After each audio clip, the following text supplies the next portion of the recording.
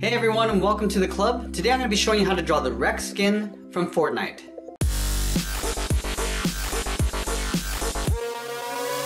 Let's get started at the top of our page with the top edge of the mouth. So I'm going to start on the left side. I'm going to draw a curve that goes up in the middle and then back down on the right side.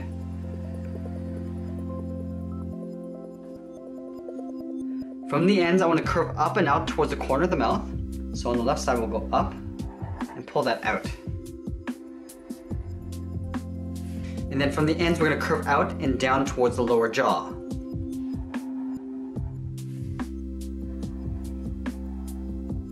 And then from here, we're gonna curve down and then in towards the chin. Pull that all the way down towards the bottom.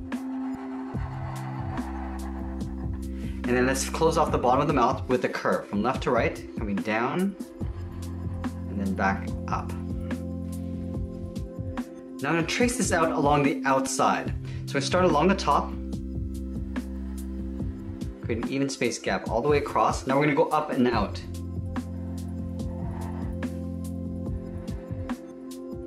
Then we're to come down the side, down towards the jaw.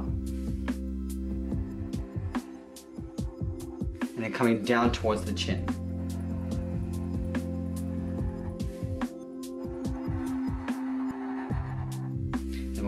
Off along the bottom.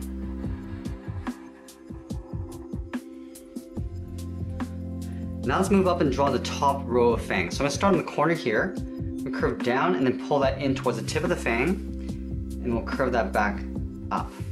Let's go to the right side and do the same thing. Come down to the same length, and then back up. Let's add a second row of fangs.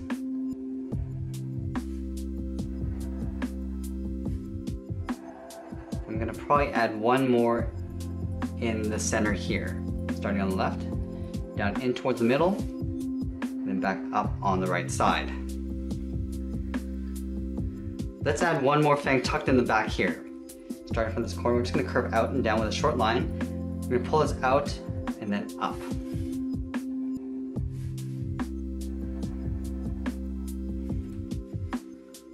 Now let's move down and draw in the lower row of fangs, starting from the bottom corner, up, curve down in the opposite direction. We'll draw the second row of fangs.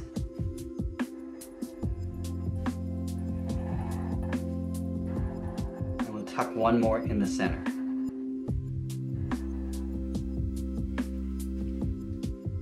Now we're going to go up along the side of the jaw, adding a few more fangs. So we're going to start in this corner here, go up and then out, pull that back in. We're gonna go to the right side, just balance this out. We'll add another row.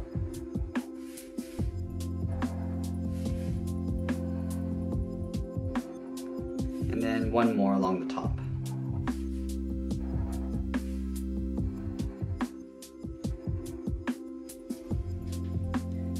I want to add a little bit of thickness to the inside edge of the mouth. So we start the top corner just beside this tooth, curve out, and then down towards the same point that we have on the outside. We're just gonna connect these two points with a straight line. And do the same thing on the right. Curving out, down, we'll connect these two points with a straight line. Now from the inside, I just wanna tuck this line in behind the teeth. Go in behind that point, continue in between, all the way down towards the bottom. We do the same thing on the right.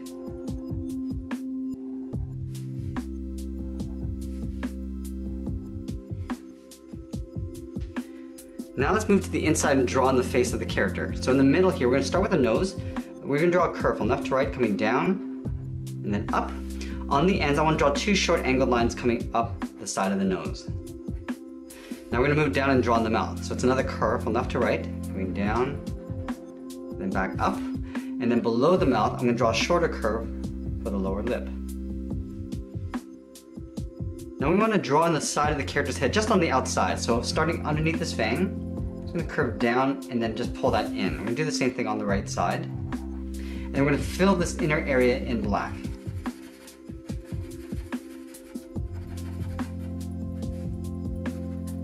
Do the same thing on the right side.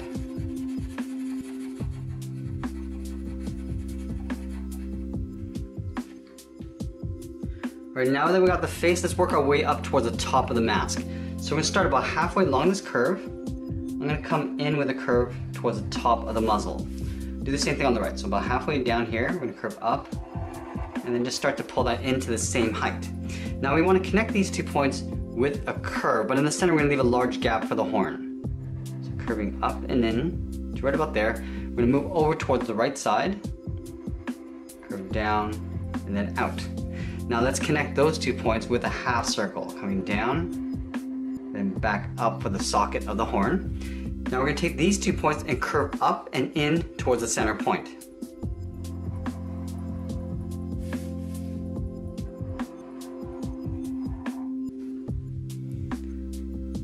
Now let's draw on the top of the head. From these two points, we're gonna step in and draw almost like a half circle in behind this horn. So on the left side, we're gonna curve up and then in. Continue this on the right side, going out and then down. We're gonna add one more horn in behind the center. So from this point, we're gonna step up, draw a point. From this point, we're gonna curve out and then down towards the left and then down towards the right. Let's add the Rex's eyes along the side. So on the left side here, we're gonna curve in and then just pull that down. Do the same thing on the right side. Now we draw a half circle for the iris tucked in underneath the eyelid on either side. And then we'll draw a small black spot in the center for the pupil. On the inside, just above each eye, I just want to draw a curve just for the fold of the eyelid.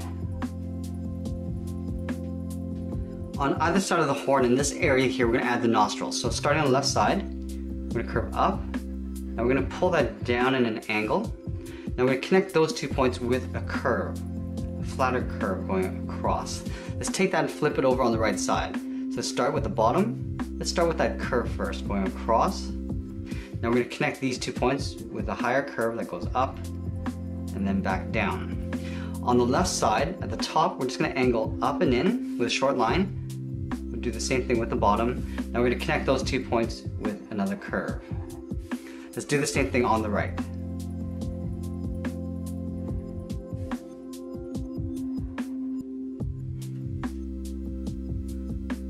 Alright, so now that I got the head, let's work our way down the body. I'm gonna start with the scarf underneath the head first. So in the middle, step down, start with a point. We're gonna curve up and out underneath the chin, but we're gonna leave a little overlap on the outside. And we'll go back to the bottom and do the same thing on the right. Now I just wanna add a little bit of a wrinkle here. So on the left, we're just gonna curve down and then in on both sides.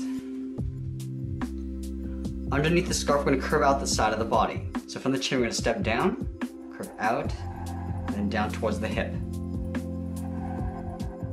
Now let's connect those two points with a curve.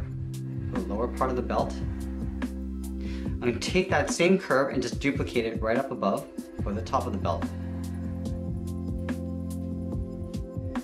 Let's add the buckle in the center here. So I'm to leave a gap in the middle and draw two straight lines on either side.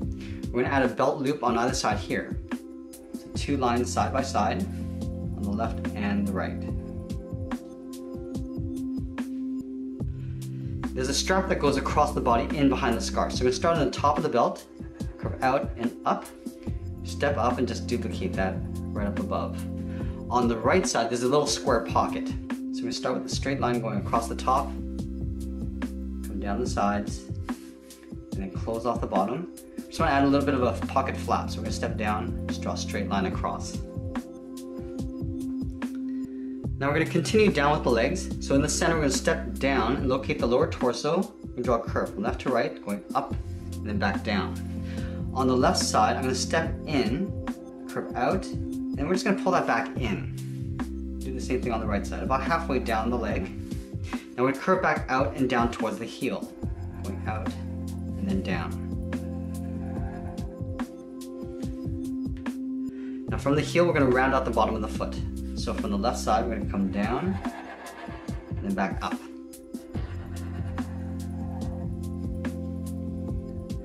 From the left toe, I'm gonna curve the top of the foot and then just bring it back down. So we're sort of aiming towards the heel.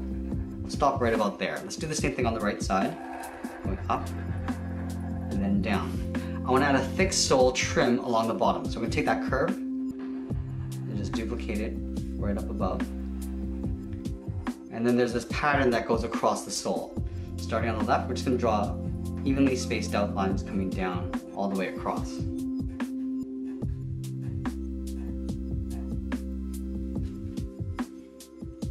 I'm gonna add that large curved plate that goes across the foot. So from this point, we're gonna angle up and in and curve over the foot, going out. Now I'm gonna take this point and just follow that same curve going out, over the foot, and then we're gonna close off the end with a straight angled line. Now from that bottom corner, I'm gonna curve in the opposite direction in behind the foot. Let's do the same thing on the right. Starting from this point, angle up.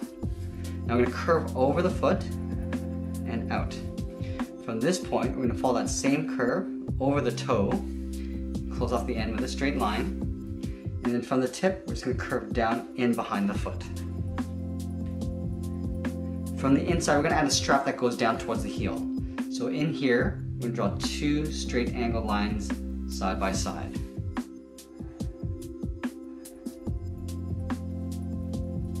Now we're gonna add in the metal plated shin guard. So from the top corner here, we're gonna step in, draw a straight line going up, go straight across with a short line. Now we're gonna curve around, coming down and then in, and then we're gonna come straight down on top of this curved plate. Let's do the same thing on the right. Stepping in, go up to the same height, we'll go across, curve in, and then come straight down on top of this bar. Now let's go to the hips here. We're gonna curve the outer part of the leg in behind this plate. We wanna make sure that we create a little overlap.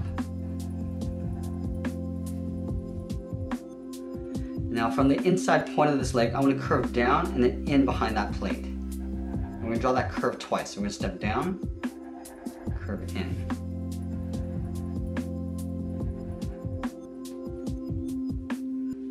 Let's add one leg strap along the left side, starting up at the top curve down to the inside of the leg, and again, stepping down, follow that same curve coming in. We're gonna add a little trim detail in the lower torso here. So underneath the belt buckle, we're gonna step down with a point. We're gonna angle up and out underneath the belt, and then up towards the right. We're gonna step down again, draw a straight line, going across, and then from these two points, we're gonna curve out towards the hips.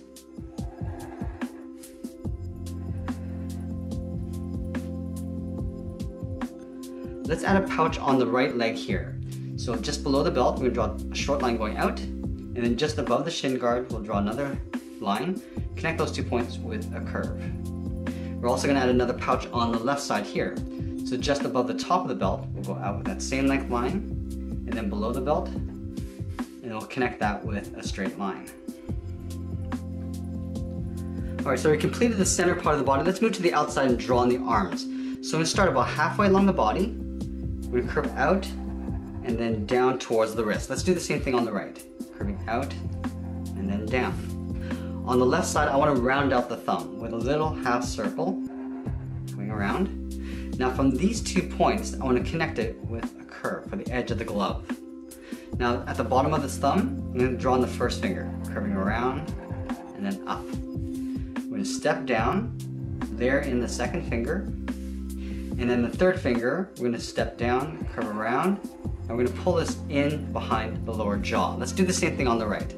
Start with a half circle for the thumb, and connect the bottom of the thumb to the wrist with another curve. At the bottom of the thumb, go around and then up the first finger, step down, the second finger, third finger is gonna go all the way around and then up in behind the lower jaw. Let's go in and separate out the fingers.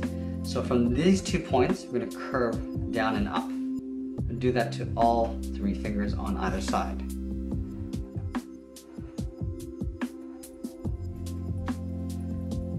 From the top of the thumb, I want to curve out and over towards the outside of the arm for the edge of the glove. And we're gonna draw that twice. We're gonna step up, just follow that same curve. Let's do the same thing on the right.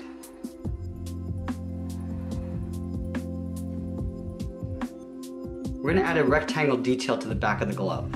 So from the outside of the arm, we're gonna step in, draw an angled line coming down, step to the inside, draw that same angled line, and we'll close this off with an angled line connecting those two lines. Let's do the same thing on the right.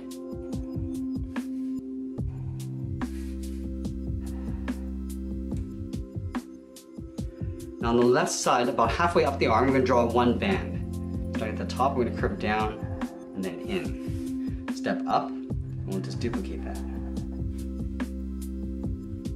Now there's a trim that goes along the outside of each arm. So we're gonna start on the left side, just above the wristband, we're gonna step in, we're follow the same curve of the arm, going in behind this band, and in behind the head. We're gonna do the same thing on the right.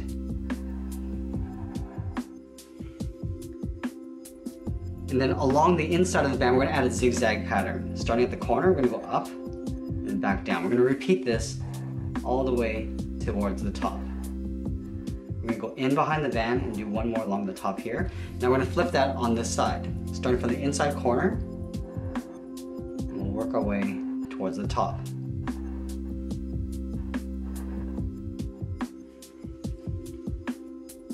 Now the last thing I want to do is expose a little bit of the backpack up above the shoulders, in between the arm and the body, and then a little bit of the tail coming out. So let's start just above each shoulder. On the left side, we're gonna go straight up. On the right, we'll go straight up to the same height. Now we're gonna pull that in behind the head. Now the backpack is gonna stop right about here. So in between the thumb and the body, we'll go straight across. And then the final thing, we're gonna add a little bit of the tail coming out. So let's start at the bottom of this finger. We're gonna curve down, and we'll hook that up And we're gonna taper this in behind the leg. And that's pretty much it. There we have it. There's the Rex skin from Fortnite. I hope you enjoyed today's lesson. Make sure you subscribe and send me your requests in the comments below. Thanks for watching and we'll see you again soon.